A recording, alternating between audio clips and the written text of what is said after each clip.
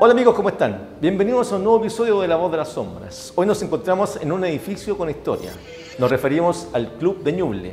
Esto parte por allá a fines del siglo XIX, cerca de la Plaza de Armas, justamente en el lugar donde hoy se ubica la Catedral de Chillán. Conoceremos su historia y algunos detalles misteriosos, por supuesto, como le gustan a la gente, a ustedes, los seguidores de La Voz de las Sombras. Bienvenidos.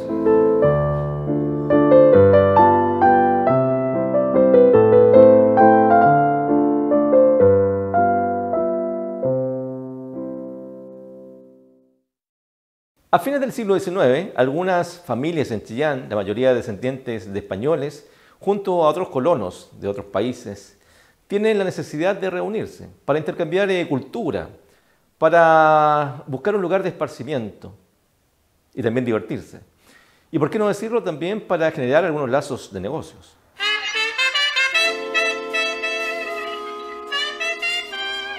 Es así como un grupo de vecinos destacados de la época encabezado por don Ismael Martín Mieres, quien había sido intendente de la provincia, deciden formar un club, el llamado Club de Ñuble. Lo hacían en un club de señoras en esa época, en 1870. Ahí tenían las reuniones y ahí acordaron entonces hacer funcionar el club. Y la fecha es el 30 de junio de 1870. El Club Ñuble comienza a funcionar en calle Libertad, en donde arriendan un recinto. Posteriormente compran un edificio ubicado en donde actualmente se ubica la iglesia de Chillán, la catedral de Chillán. Recordemos que antiguamente la iglesia se encontraba más hacia la esquina, hacia la esquina de calle Libertad, en donde justamente hoy se encuentra la cruz monumental, el monumento que fue erguido en conmemoración de los fallecidos en 1939.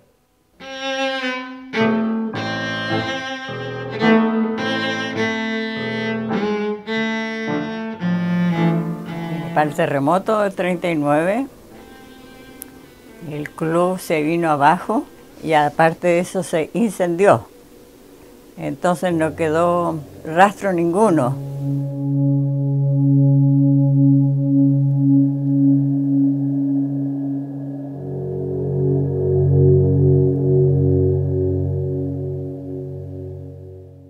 Luego del colapso del edificio en 1939, el Club Ñuble se va reuniendo de forma itinerante en diversos lugares.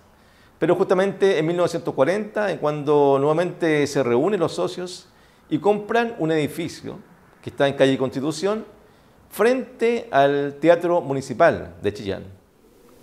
Y después se reunieron y como, como otorgaron en esos años préstamos de la reconstrucción y auxilio, eh, ellos solicitaron un préstamo y construyeron el edificio de Constitución 444, hecho, hecho para club, un edificio muy señorial, con grandes salones, preciosos, y apto para, para el club.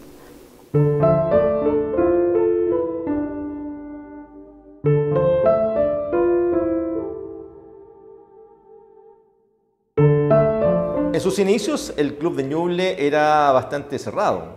Tuvo fama de ser uno de los mejores de Chile y el tercero más antiguo del país. Tenían en la puerta un, señor imponente con un uniforme que le llamaban el mariscal. Eh, no dejaban entrar a nadie sin corbata. Estaba estrictamente prohibido aceptar a gente con traje de guaso. En ese tiempo no era muy bien visto, parece. ¿eh? Y entonces nadie podía entrar de guaso. Sencillamente le, le cerraban las puertas. No, por ningún motivo entraban. Tenía sus reglamentos. Eh, cuando el club se cerraba generalmente a las 12 de la noche, siempre y cuando no hubiera ninguna mujer dentro del club si estaba alguien con su señora, con su pareja, el club que permanecía abierto hasta cuando ellos se retiraran. Em, en cuanto a sus em, reglas para ingresar a este, eran bastante rígidas. En estos tiempos se ven así, pero en la época eran bastante normales. Como por ejemplo, los hombres que solicitaban unirse a este club debían ser hijos legítimos. Y por supuesto solamente hombres. Asistían mujeres, pero en compañía siempre de sus maridos. Eh, no podían tener ningún prontuario policial, por supuesto, ni tampoco sus familias, ni, ni padres, ni hermanos, ni abuelos. Porque había que elevar una solicitud para ser socio, pero la persona que te, te proponía que fuera socio sabía con, a quién se lo ofrecía. Así que en ningún caso se rechazaba gente, ¿no? Generalmente era gente de derecha. Era muy raro que, que alguien pretendiera... Nadie hacía política dentro del club. Debían tener un respaldo de al menos tres socios para que fueran aceptados en este club. Y por supuesto, lo más importante, una buena posición económica y social.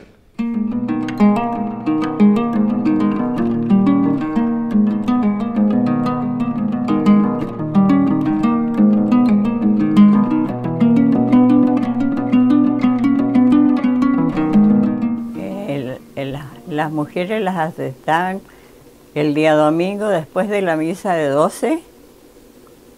Todos se ponían de acuerdo para, para ir al club a tomar el aperitivo el día domingo. Y se formaban grupos grandes, numerosísimos, y, y ahí se quedaban a almorzar, estos almuerzos hasta las 6 de la tarde. Ahí era muy concurrido tenía unos, salones enormes, entonces cabía mucha gente.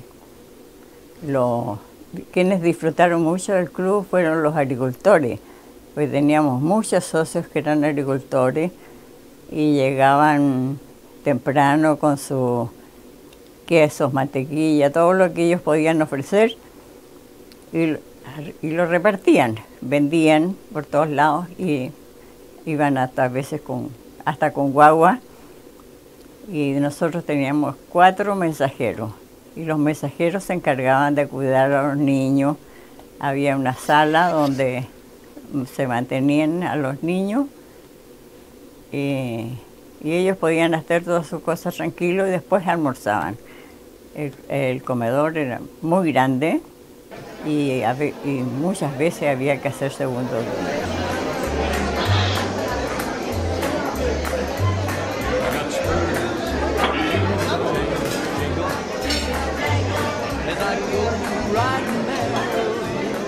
Siempre, siempre hubo un concesionario. Los, los demás, el bar era sagrado para los hombres. Las mujeres no entraban al bar. Después del tiempo de la piscina, eh, iba mucha, mucha juventud y en el verano se formaban unos bailes ah, después de las 7, que la gente se, se retiraba de la piscina, volvían todos al club y a veces con música envasada, otras veces con, en vivo. Y este baile duraba hasta las nueve de la noche.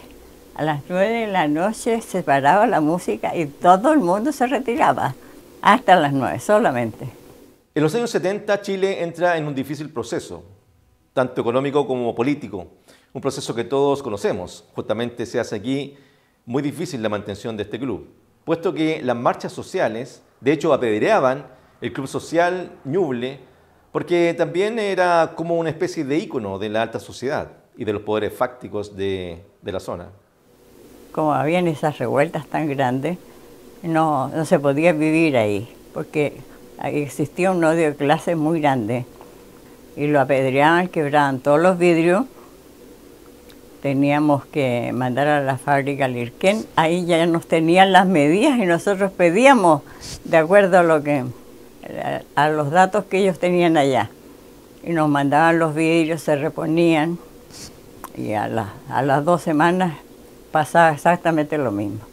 Cuando yo llegué un día a las 3 de la tarde, mi escritorio estaba lleno de piedra, lleno, lleno de piedra. Es tan grave la situación que la directiva del club decide vender el edificio del municipio y dejar el Club Ñuble en un receso. Entonces salió, me acuerdo, un aviso en el diario La Caja de Empleados Particulares, compraba en distintas ciudades, pretendían hacer ahí una casa de reposo de ancianos con una farmacia, tenían un proyecto muy lindo. el club postuló y les, gustó. Compraron el club, compraron en el sur, en Temuco, en los hornos. A fines de los 70 o principios de los 80, algunos entusiastas miembros del club compran una casa en calle 18 de septiembre, perteneciente a la viuda del general Bartolomé Blanch, quien fuera presidente provisional en Chile en el año 1932. Actualmente es la ubicación del Club de Ñuble.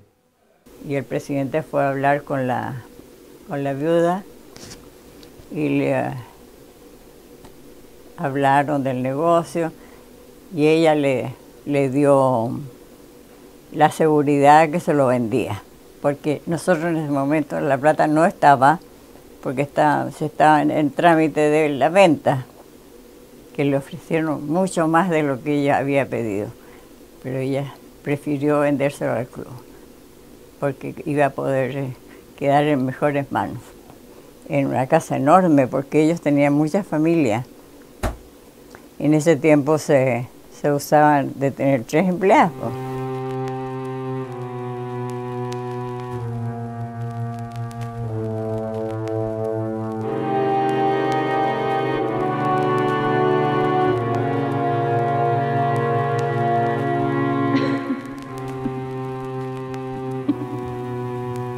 Yo trabajaba de jefe de barra en el Club Caramelo y por cambio de concesión acá en el Club Mule me vine a trabajar a mediados de noviembre del año pasado.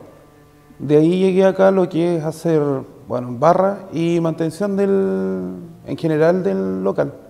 Bueno, acá de repente, bueno, cuando llegué al principio era remodelar completo el, local, lo que era barra, era comedores, era bueno, mobiliario en general que estaba ya bien deteriorado y mantención lo que era piscina, quincho y lo que es área verde atrás. Y después ya cuando empezó, bueno, terminamos la, por empezar la temporada de verano, terminamos el patio y ahí ya cuando entramos acá en sí al edificio, ahí se empezaron a sentir cosas extrañas. Las puertas que se golpeaban a las 2, 3 de la mañana, luces que se apagaban solas, muebles que se cambiaban de posición. Los largos, ese lo pido acá, no lo pido allá. Y es grande, es pesado. De la noche, no sé, usted cerraba a las 2 de la mañana y quedaba su mueble ahí, llegaba el otro día y estaba esa mesa chica al otro lado y el mueble acá. Todo, alarma puesta, eh, todo cerrado con llave. Y de hecho yo era el último que me iba y el último, el primero en llegar. De repente así como algo raro no, no, cuadraba con cómo había quedado.